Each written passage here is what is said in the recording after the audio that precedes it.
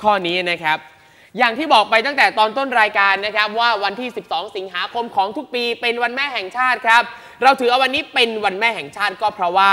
วันที่ 12 สิงหาคมนะครับ เป็นวันคล้ายวันเสด็จพระราชสมภพในสมเด็จพระนางเจ้าสิริกิติ์พระบรมราชินีนาถนั่นเองครับ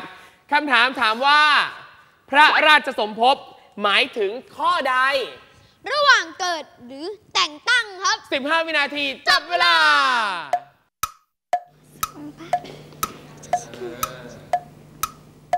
พระราชสมภพนะครับ แปลว่าอะไร ห้าสี่สามสองหนึ่งหมดเวลาแล้วจะตอบว่า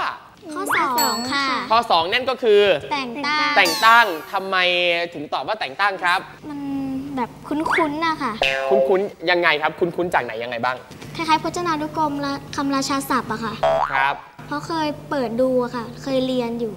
แต่ก็ยังไม่ค่อยมั่นใจมาก ยังไม่มั่นใจนะ ทีมกอไก่ครับ น้องตองน้องเอิร์ธครับ ถ้าน้องตองน้องเอิร์ธตอบจะตอบว่า ข้อหนึ่งข้อหนึ่งทำไมถึงตอบข้อหนึ่งล่ะครับ เคยได้ยินมา เคยได้ยินมานะครับว่าวันพระราชสมภพคือวันเกิดครับนะครับอ้าวมาดูสิครับ ข้อแรกนี้นะครับ ทีมฮอนุฮูกตอบมาแล้วว่าแต่งตั้งคำตอบนี้ เด็ดหรือไม่เด็ดครับ เด็ดหรือไม่เด็ด